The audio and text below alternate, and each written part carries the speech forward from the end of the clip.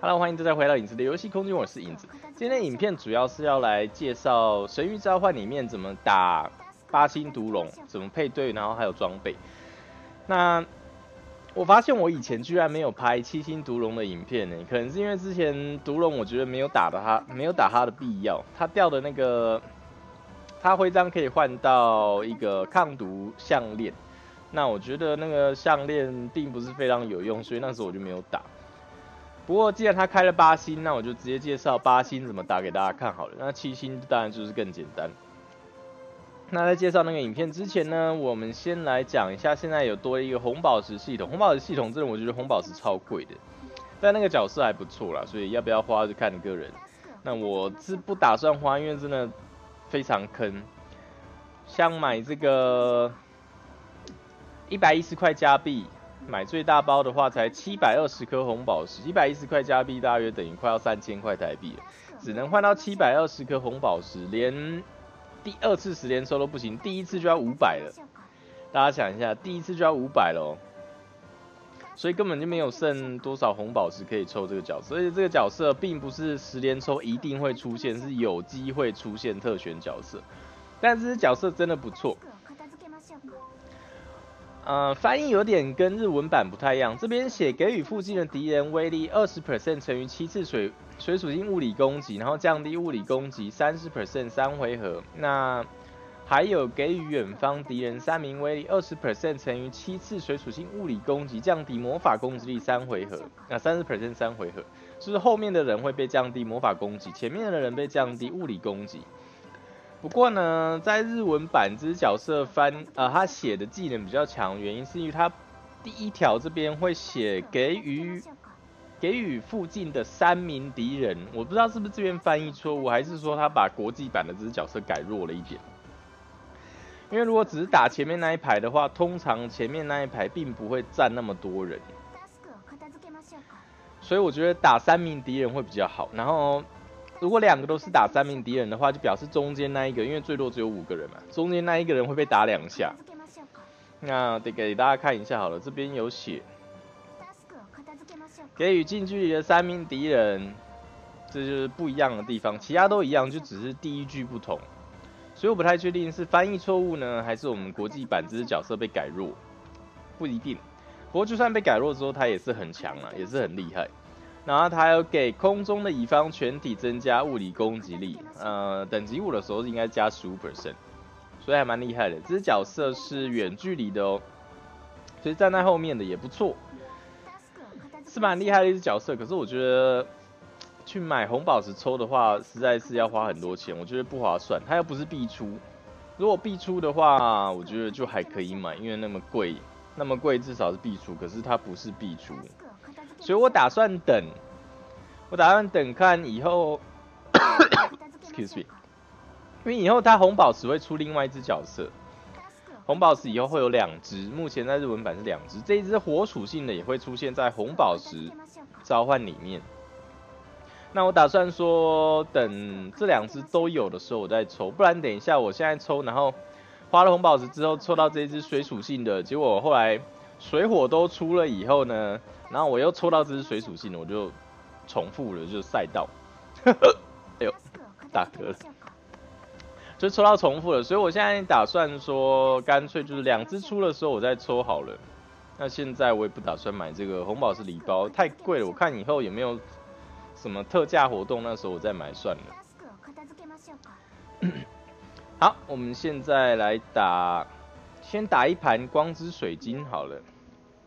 光之水晶关卡现在有出了，水属性的已经结束了，所以现在剩光了。光的我觉得投资的报酬率比水的还大，目前来讲，因为现在光属性觉醒的角色还蛮多的，尤其是奥丁，奥丁投资我觉得就是不亏了。奥丁打太多降临很有用，大概大家看。现在打最后一关都可以 S S 级，那第四关我是 S 级是第一次打过就没有再打了，所以但是我现在又不再打第四关，所以那个就不理他了。反正称号也没有说给的奖励特别好。现在打最后一关一般都是 S 啦，不过有时候会 SS。用的角色是这些，当然还可以用，很多人会用蓝紫，因为暗属性的攻击角色还蛮多是物理攻击的，所以配蓝紫的话可以降敌人防御力。不过我这边有带一只暗系的精灵，这只角色呢会也会降敌人的魔防跟物防，所以这只角色也不错。有带这只就不太需要带蓝子，我有试过换掉。但是换成蓝子也没有伤害也没有比较高，那你没有这只的话就换蓝子，因为蓝子实在非常好入手。那再来就是，其实很多暗属性攻击角色都可以，这只也可以带。这只打这一关也不错，但是我现在没有带，因为我角色这样子就差不多满了。忠诚的话，其实太多太多暗属性角色都可以带，那个少年呐。还有这只创世啊，创世神这只也可以，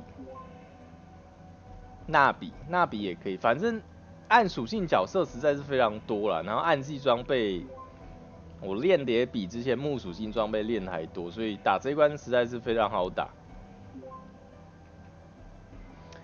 不过这一关呢，他小兵出了一只站在前面，所以很蛮麻烦的。那只小兵要清掉才能打到后面同一排，等下大家看就知道，前面会站一个挡路的，非常讨厌，就是有这这一只这样挡路，所以要先把它清掉，那种打一排的招式才会打到后面同一排。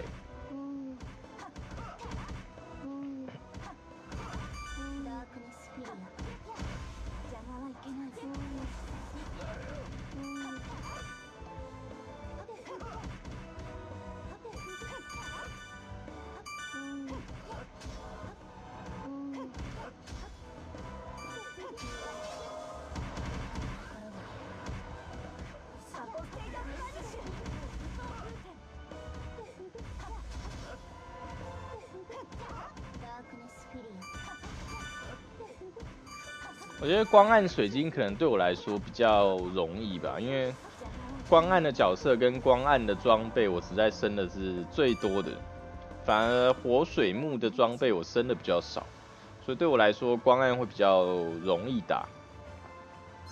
可能每个人不同咯，如果你装备全部都升木属性或水属性，你就会其中哪一关会比较好打。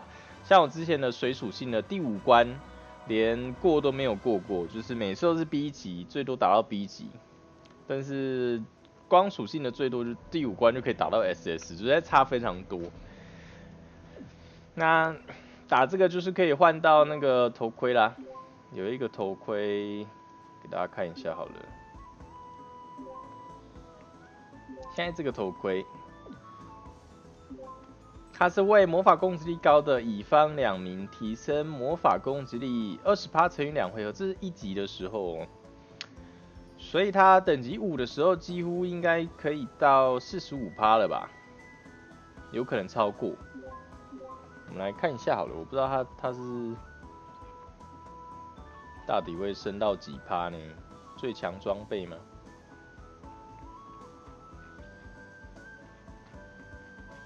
不知道找不找得到，如果找不到就算了。在这里，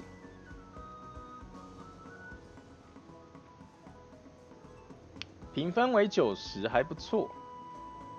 OK，最高是四十趴啦，最高四十趴，已经算蛮厉害了。四十趴呢，多四十趴，伤害多很多。不过它是给近战用的，因为它。它加防御力跟加血，所以它是给近战用，前面会比较弹一点，然后为魔法师增加攻击力，所以这个头盔在 PK 我看应该也蛮好用的，应该还不错用的头盔。呃，还有什么呢？红宝石商人，红宝石也可以换到一些时装啊，时装一百五，所以如果拿红宝石买时装的话，我觉得还挺划算，但是如果拿来抽角色，我觉得就很亏。这个游戏啊，神域召唤的游戏。我觉得它就是坑坑在抽角色上面，你要抢角色，你就是要花很多钻石或者是红宝石去抽。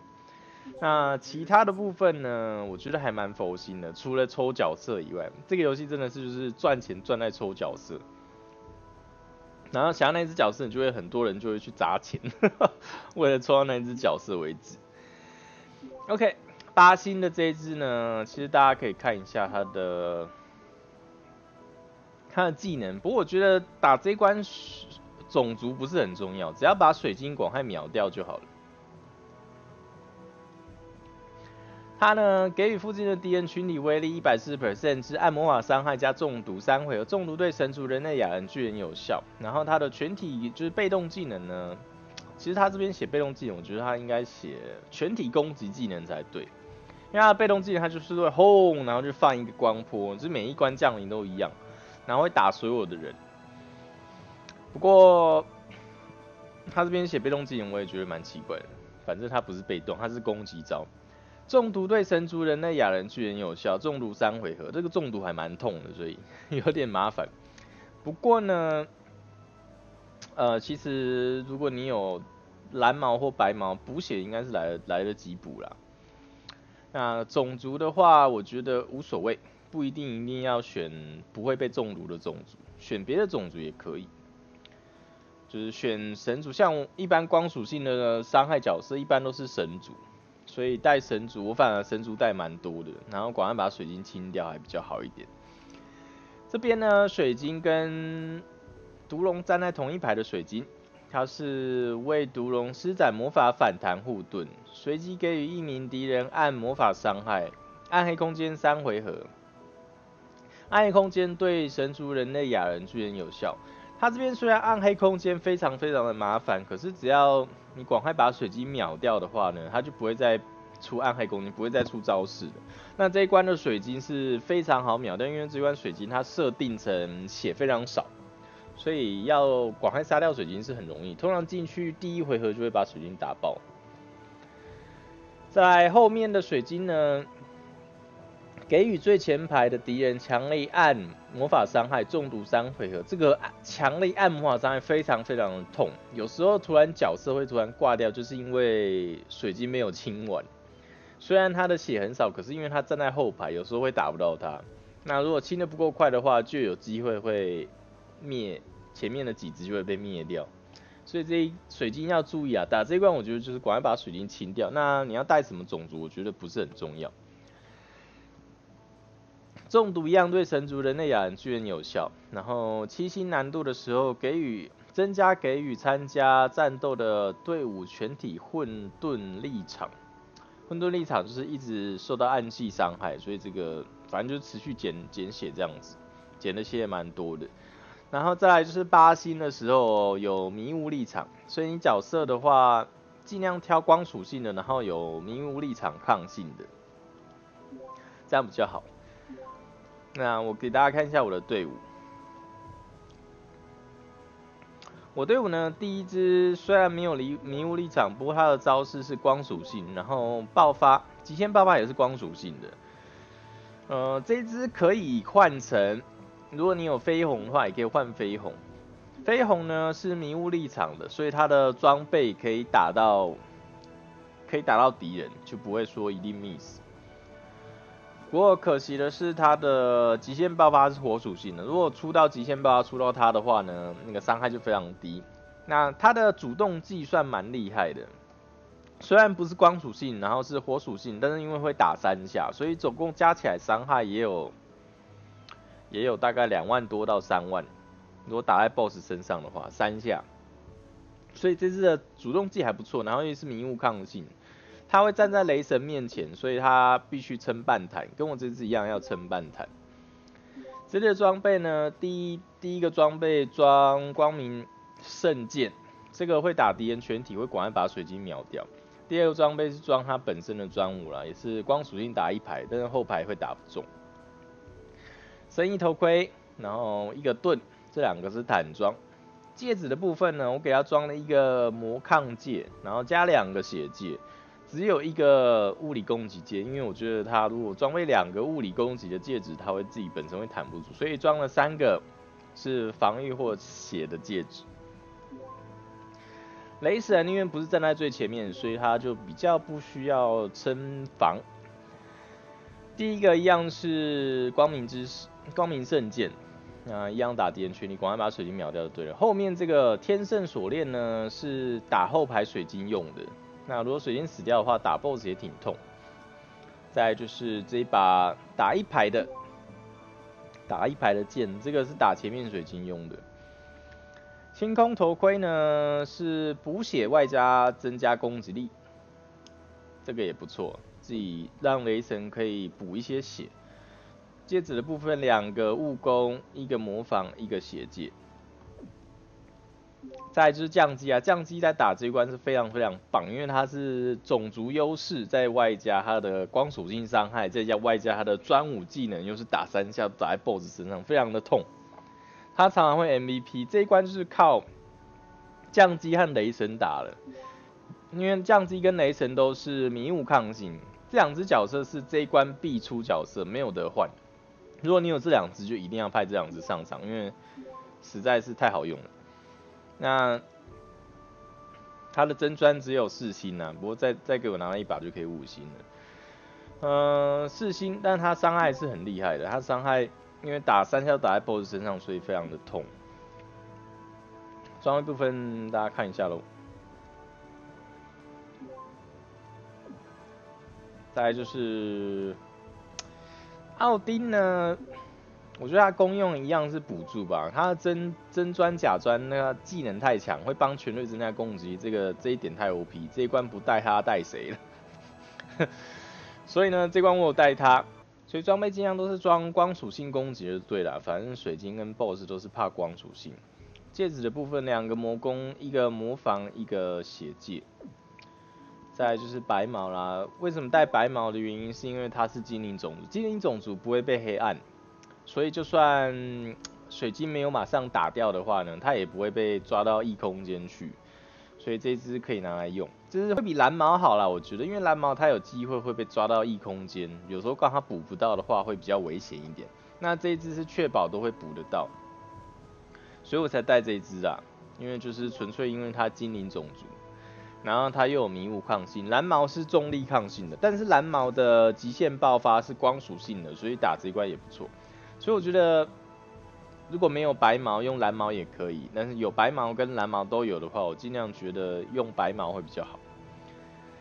那当然还有很多其他角色好用啦，像刚刚我讲的绯红可以用，然后洛基也可以用。啊，如果你前面站的要全坦的话，其实陆家也可以。但是我这边是半输出半坦，所以就没用它。尽量都挑迷雾抗性的，我知道迷雾抗性的角色不多，那如果没有的话就没办法。像我这样，第一只跟后面呃奥丁也都不是迷雾抗性，所以没有的话不一定要有。还有这只也可以用，这是巨人种族的守护神光超啦，他的大招极限爆发跟他的本身招式都是光属性的，但是他也没有迷雾立场，所以要自己斟酌咯。有越多迷雾立场的话，会打得越快。其实也很好用，只是它也是没有迷雾立场，但是它的专武跟它的本身技能呢，打打水晶都非常的痛，所以很快可以把水晶秒掉。这样子抗性又错了，所以迷雾立场抗性角色实在是不多，其实也可以用的魔法剑士，它呢虽然不是光属性的伤害，但是它是迷雾立场的，所以给它装备一些呃光属性伤害的东西。的装备呢，其实他在打这关也不错用。那你们就自己看吧。其实迷雾立场的角色有一些无属性的也可以用，这只也可以用，它是迷雾立场抗所以这只也不错。如果你有这一只的话，尽量主要就是要把水晶清掉，水晶要赶快清掉，不然水晶打我们是非常的痛，然后又一直把我们角色拉到异空间。呃，好在在这一关的水晶血真的非常少。所以大家等下应该看得到，我其实进去第一回合，如果有出光明圣剑的话，会直接秒掉水晶。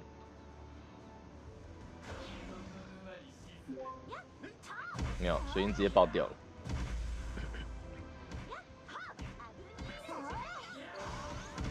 这样子的话，就是刚开始会被有可能一两只会被拉到异空间，那接下来就不会了，把整条血打完，等水晶第二条血出来的时候。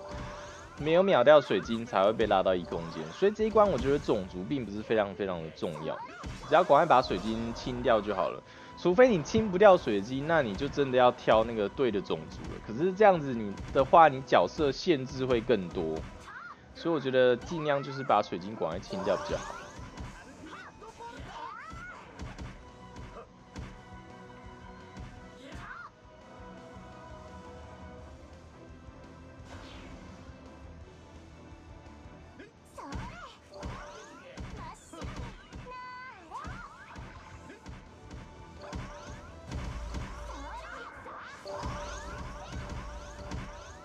水晶清不掉的话，其实会有危险，因为他们打我们角色很痛，尤其是打前排。有时候在第 boss 第三条血的时候啊，那个水晶我清不没有马上清掉，就运气不好，可能装备技能都没出，那那时候我的角色就会死个一两只。可是通常死个一两只之后还是可以赢，因为其他角色就不会死。我打这一关用这一队是还没有输过。只是有时候角色会挂掉，但是挂掉的话，还是最后还是会赢啊，因为时间剩蛮多的。